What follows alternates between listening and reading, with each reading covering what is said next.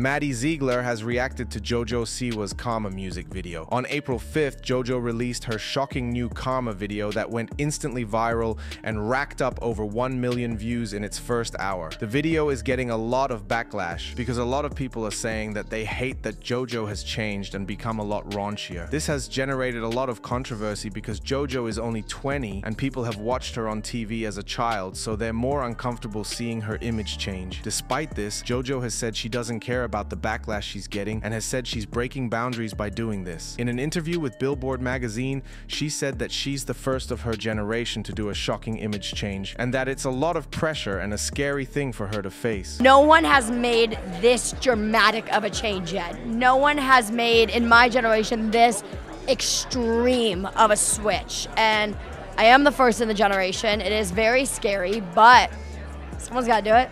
After JoJo's new video went viral, her former Dance Moms co-star Maddie Ziegler shared her reaction to the video. In an Instagram comment underneath a clip of the video, Maddie used a fire emoji. This was Maddie's way of saying she thinks the video is great. This comes as a surprise because JoJo recently shaded Maddie during a recent interview for the upcoming Dance Moms reunion. This is because Maddie did not turn up for the Dance Moms cast reunion.